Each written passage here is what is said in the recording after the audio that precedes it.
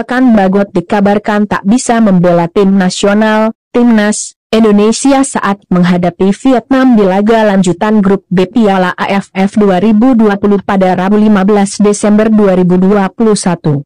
Alasannya karena Bagot dipaksa pemerintah Singapura untuk menjalani karantina.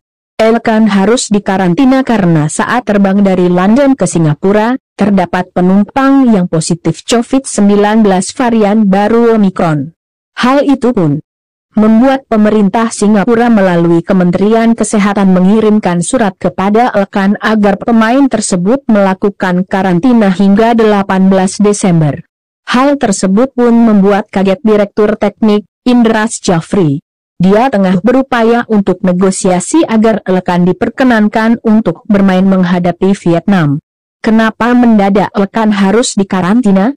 Dia sudah tiga kali menjalani tes PCR di sini serta sudah melakukan aktivitas bersama tim dan bermain melawan Laos, kata Indras Jafri, Selasa, 14 Desember 2021.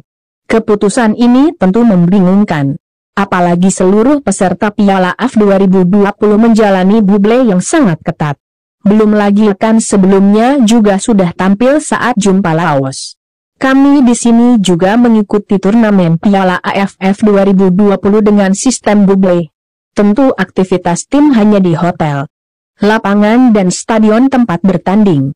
Kami masuk ke Singapura juga tidak seperti warga umum lainnya karena menggunakan surat izin dari MTI, Ministry of Trade and Industry, ujarnya.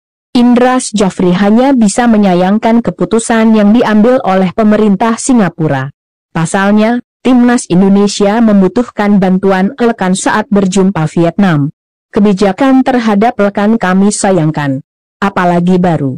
Diinfokan kemarin sore. Kami mohon agar rekan tidak perlu dikarantina lagi dan dapat bermain melawan Vietnam, tutur Indras Jafri. Jadi, Indra saat ini terus mencoba agar rekan Bagot bisa bermain. Namun, kemungkinan berhasilnya sangatlah kecil.